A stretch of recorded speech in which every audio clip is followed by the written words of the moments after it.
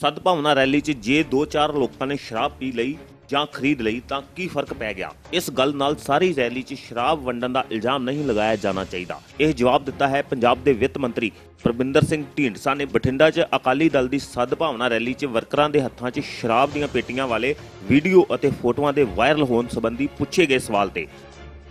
ਜਵਾਬ ਨੇ ਰੈਲੀ 'ਚ ਸ਼ਰਾਬ ਪੀਣ ਦੀ ਰਸਮੀ ਤੌਰ ਤੇ ਪੁਸ਼ਟੀ ਕਰ ਦਿੱਤੀ ਜਾਪਦੀ ਹੈ। ਉਹਨਾਂ ਰੈਲੀ 'ਚ ਸ਼ਰਾਬ ਦੇ ਮਾਮਲੇ ਨੂੰ ਖਾਰਜ ਨਹੀਂ ਕੀਤਾ, ਬਲਕਿ ਇਸ ਨੂੰ ਜਾਇਜ਼ ਠਹਿਰਾਉਣ ਦੀ ਪੂਰੀ ਕੋਸ਼ਿਸ਼ ਕੀਤੀ। ਉਹਨਾਂ ਕਹਾ ਕਿ ਜੇ ਇੰਨੀ ਭੀੜ 'ਚ ਕਿਸੇ ਨੇ 2-4 ਪੇਟੀਆਂ ਸ਼ਰਾਬ ਖਰੀਦ ਲਈ ਜਾਂ ਪੀ ਲਈ ਤਾਂ ਇਸ ਵਿੱਚ ਗਲਤ ਹੀ ਕੀ ਹੈ। ਢੀਂਡਸਾ ਨੇ ਕਹਾ ਕਿ ਦਰਅਸਲ ਸਾਡੀ ਰੈਲੀ ਦੀ ਸਫਲਤਾ ਵੇਖ ਕੇ ਵਿਰੋਧੀ ਪਾਰਟੀਆਂ ਬੁਖਲਾਟ 'ਚ ਆ ਗਈਆਂ ਹਨ ਤੇ ਇਸ ਲਈ ਹੀ ਅਕਾਲੀ ਦਲ ਖਿਲਾਫ ਘਟੀਆ ਕਿਸਮ ਦਾ ਪ੍ਰਚਾਰ ਕੀਤਾ ਜਾ ਰਿਹਾ ਹੈ।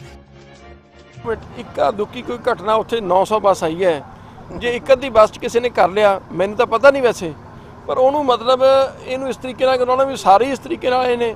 ਇਹ ਦੇਖੋ ਜਿਹੜੀਆਂ ਇੱਕ ਗੱਲ ਮੈਂ ਤੁਹਾਨੂੰ ਦੱਸਦਾ, ਜਿਹੜੀਆਂ ਵਿਰੋਧੀ ਪਾਰਟੀਆਂ, ਉਹ ਬਖਲਾਹਟ ਦੇ ਵਿੱਚ ਆ ਕੇ ਅਸੀਂ ਦੋਸ਼ਨਬਾਜ਼ੀ ਕਰਦੀਆਂ ਜੇ ਕੋਈ ਦੋ ਬੰਦੇ ਨੇ, ਇੱਕ ਬੱਸ ਦੇ ਵਿੱਚ, ਉਹਨਾਂ ਨੇ ਦੋ ਪੀਣ ਵਾਲੇ ਨੇ, ਉਹਨਾਂ ਨੇ ਚਾਰ ਨੇ ਰੱਖ ਬੋਤਲਾਂ ਖਰੀਦੀਆਂ ਜਾਂ ਪੇਟੀ ਖਰੀਦੀ, ਉਹਦੇ ਬਾਅਦ ਇਹ ਕਹਿਣਾ ਵੀ ਸਾਰੀ ਹੀ ਰੈਲੀ ਦੇ ਵਿੱਚ ਇਹ ਚੱਲਿਆ।